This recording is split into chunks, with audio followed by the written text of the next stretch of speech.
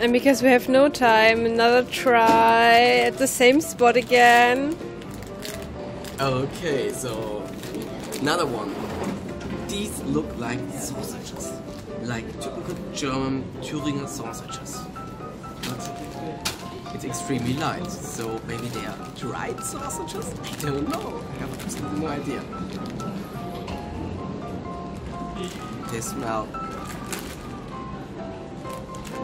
bit roasted, salty, something more wheat or so inside. I don't know. Um, they're definitely not sausage thingy like. There's something else. and